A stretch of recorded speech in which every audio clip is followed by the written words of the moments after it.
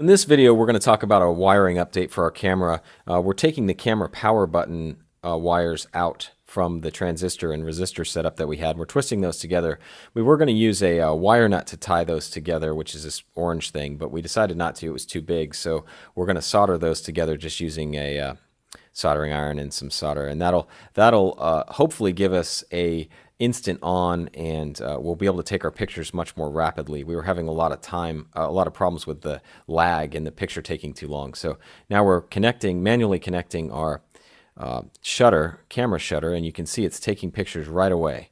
So we don't have to wait anymore because the power is always being fed to the camera and we're able to take the pictures with our shutter by just um, controlling that shutter button. So we're taking out the transistor and resistor for the uh, power button and reconnecting our shutter button. And so that should accelerate the uh, time that it takes to. Uh, now, this may uh, drain our battery faster, but uh, at this point in time, that's okay. So we're going to trim off a little bit of our, uh, uh, what do you call it, heat shrink, and we'll be using our heat shrink gun to protect that new joint that we've created. And we're just going to tuck that inside Bitsy's shell, and we won't worry too much about it because it will we've demonstrated that it works there. So it uh, it doesn't greatly improve the the how quickly the camera can um, take a photograph, which is is important. And so we're just going to tape that end off there, and uh, so we've got our new connection, and we'll tuck that into the shell, like I said, and uh, so now our camera should function much more responsively than it had in the past. Um, Right now, what we're doing is we're, we also realized that when we wanted to get the pictures off of our camera, uh, we had to uh, we couldn't connect to the camera because it's below the uh, the USB connector, the mini USB connector on the side of the camera is too low. So uh, we weren't able to connect to the cable.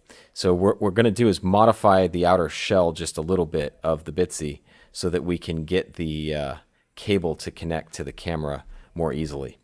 Uh, it looked like it would connect before, but we hadn't done it, so uh, we're just cutting off just a little bit of the outer part of that shell, and that's going to allow us to raise up the uh, the right hand side of the camera.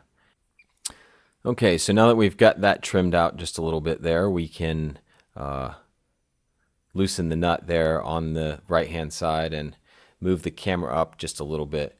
We'll adjust the nuts that are underneath the, uh, the camera board too to raise the camera up and make sure that it stays high enough to access our USB board, our USB port, I should say, on the uh, camera board there. So we're just using a screwdriver to raise those support nuts that are underneath the camera up.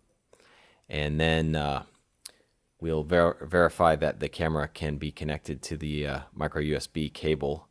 Uh, and it can, so that's good. And so now we're just going to put our nuts back on the camera, tighten it down, and we should be good to go.